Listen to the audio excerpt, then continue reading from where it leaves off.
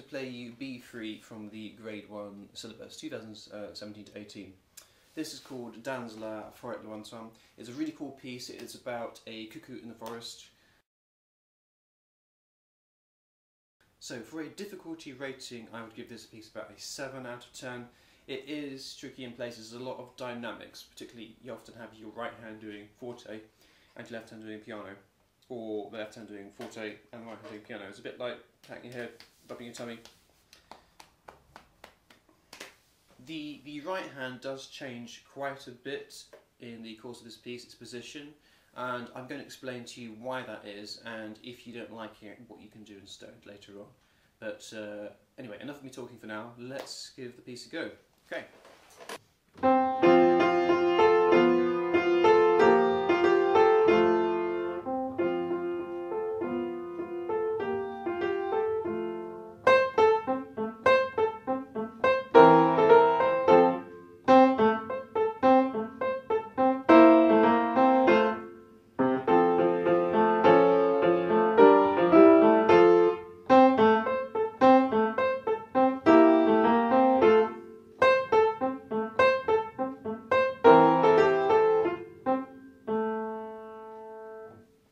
Try not to play too much slower than this.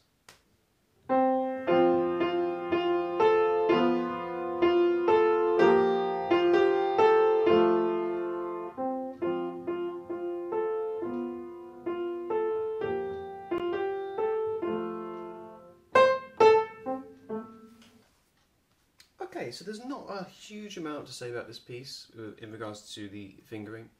Um, what I will say was what I was talking about earlier is that the right hand, um, they have you move around from this position to this position.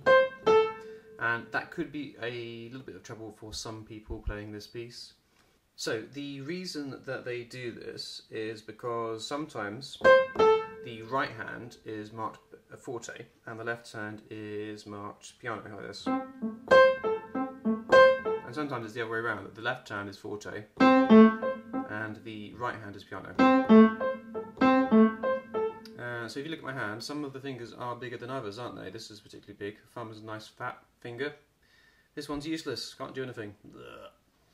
Um, so what people often tend to do is they'll get something, they'll get passages in their stronger fingers, like these ones, um, because we want to play piano, the editor has decided that they're going to use these two fingers to play the piano passages. That's their suggestion, and um, that can work.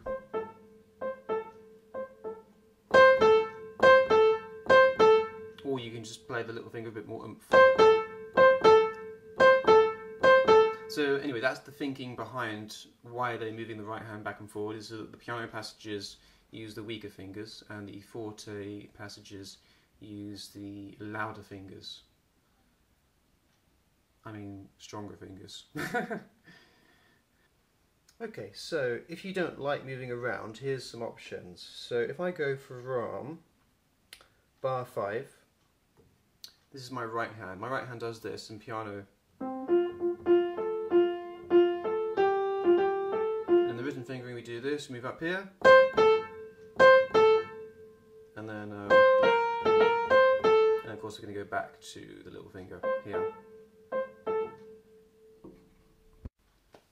So for some people it might be a bit difficult to remember which finger you're using when, whether you're using 5 or, or the third finger. Um, I, in fact when I performed it uh, earlier in the video you'll see that I actually messed up the fingering at one point.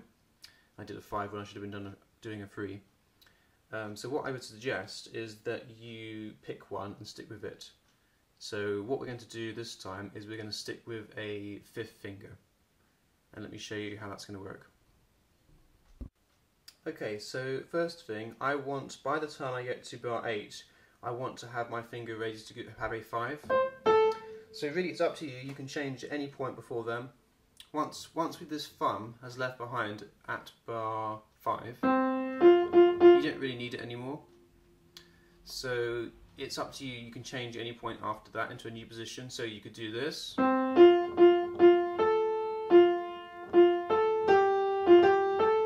be ready for 5 there. Or you could go.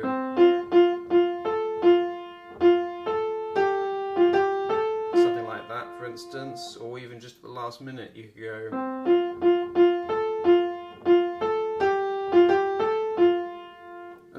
Are fine, just as long as you get your hand back into this position, ready for the um, the CA. So what we're trying to do here is every time we have the CA, just use the little finger. And of course, to play forte, you just have to hit it, hit it harder.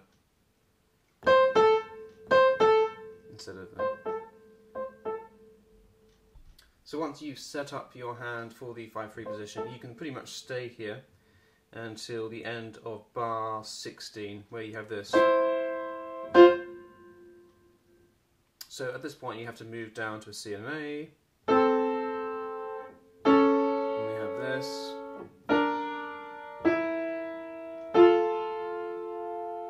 Uh, in chords there. Now you might be saying to yourself, why don't we just do this? 5 1, 5 1, and then 5, 5 maybe 1, 1 again, and something like that. And you can do that, you can have at it, that's absolutely fine. Uh, their fingering is better. You've got to remember that these fingerings are designed by people who are way, way past grade 1 and they're doing the best fingerings for a very advanced pianist. So this is actually a lot better, what they've got there. Because what we have there is we have um, this note to this note, and what this thing enables you to do is play it more legato. Whereas if I have to go thumb thumb, I have to jump up, and no matter how good I am, there's always a little bit of a gap there, as opposed to this. The A, there's no way you're going to be able to play that without a gap because the A has to come up and down. So that's a lost cause, but this one you can make legato. That's their thinking behind the fingering. And then we've got this.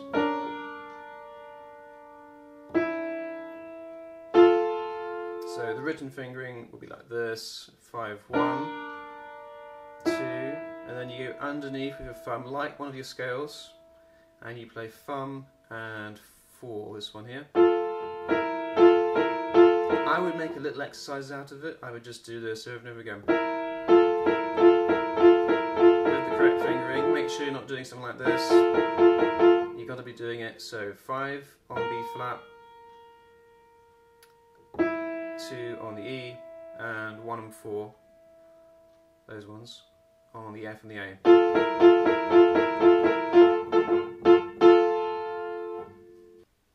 So if you prefer sticking with the 5 and the 3, like we talked about earlier, um, at bar 24, you can just stay where you are and finish off like that. There's no reason to move. Um, so again, just to recap, the advantage of just using these is that it's just easy to remember. You can say whenever I play C, A, I'm going to be using my little finger and my third finger on the A. Uh, it's not as clever as the written fingering, but it is easier to remember. Right at the opening, this is just something to be aware of. Um, you play middle C with the right hand first, and then straight away the left hand plays the same note on the next. What you might get sometimes is this, where the C doesn't play again. So you've got to give you've got to give that C the time to come up and come down again.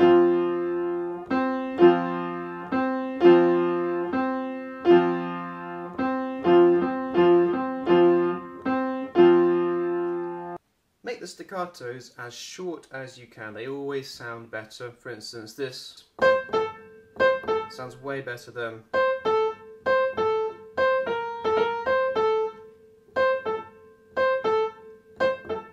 sounds better, doesn't it?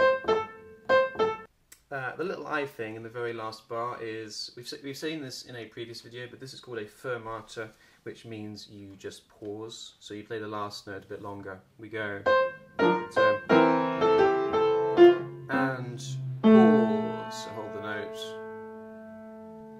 Um, there's no rit written at the very end. There's nothing that says to slow down, but if you did decide that you wanted to slow down the last two bars, I'm sure the examiner would not mind at all if you went.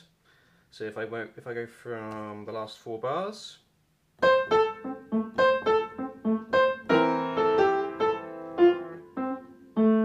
As opposed to just going straight through, which is.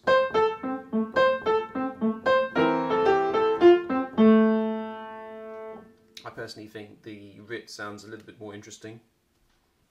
Uh, the word marcato at the beginning just means marked or emphasized. That doesn't mean you're going to play the whole thing like this, accented. That's absolutely horrible. Don't, do not do that. They'll hate you. Um, what they're getting at, basically, I think, I'm always, this is always just my thoughts, right? I could be wrong. But because this is a song, we've got words to this. They've written up the a few of them at the bottom. We've got um, "It dance love for it lointain," or whatever, whatever the words are. Basically, what you've got to remember is each of the quavers, when it's sung, has words to it. So it's not going to be super legato. It's not going to be.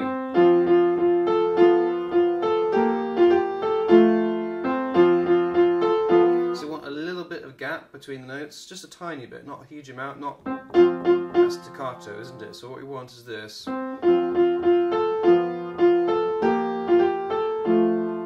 If that goes over your head, don't worry. This really is just polishing on the cake. Like once you get, once you get the piece really, really good, then you can start thinking about marcato.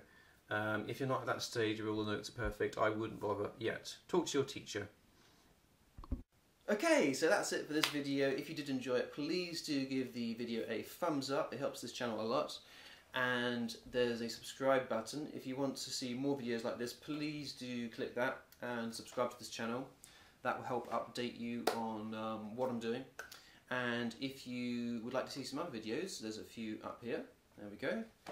If you've got any tips or tricks of your own for this piece, please do put them in the comments down below and maybe you can help someone else with their piano playing. Thanks a lot. Bye-bye.